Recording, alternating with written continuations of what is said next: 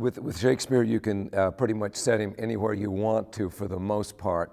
Um, that, that's part of his universality. And uh, so we made the decision for the, for the sake of um, cool costumes and all of that to set it in America 1775. Um, we, we did it for a couple of reasons. One, um, the play starts out with the villainous brother having usurped the throne of uh, his older good brother.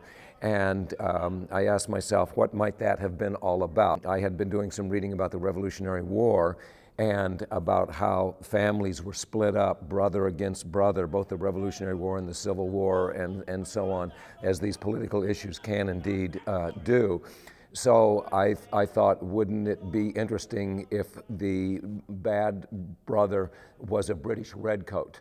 And his um, uh, uh, older brother was a uh, American um, uh, revolutionary, or at the very least sympathizer.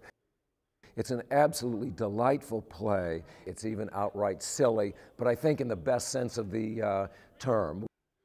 We have um, uh, the farm girl Audrey, who seems to be enamored of every man she meets. We have the musicians who have written their own music to these songs. This song, this play has a lot of um, uh, music in it, and they've written their own music, and it's absolutely beautiful. They've done a wonderful job, but we also have a small medley in the show that is totally anachronistic, um, but is great fun. And uh, so far, we've had the uh, crew members in stitches, so we're, we're hoping the audience will be in stitches uh, also.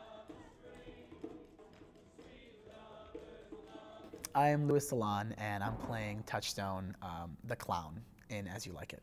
The, the, the fight scene is quite intricate, actually, and it's, and it's really, it's exciting. It's, it's, it's kind of like a, uh, one of those, like the, the bear brawls that they had, like in the Victorian.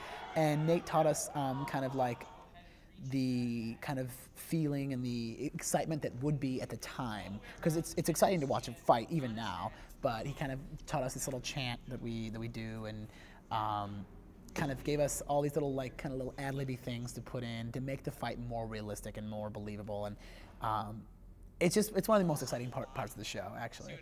I, I really enjoyed working with Nate. Um, it's I would love to keep going actually. He's actually inspired me to kind of take up more stage, stage combat classes because it's it really is an art. Really, it's it's difficult, um, but once you get it, it just it just it looks incredible, and it's so much better than actually getting slapped. you know, less painful.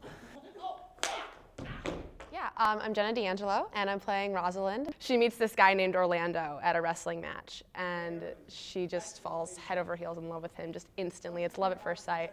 One of the most challenging parts has been wearing a corset all the time. um, I, I am a very like loose person and Rosalind is not. She needs to be very proper. And so that's something that's been very difficult for me to be more feminine, I guess. I think a lot of people are afraid of Shakespeare.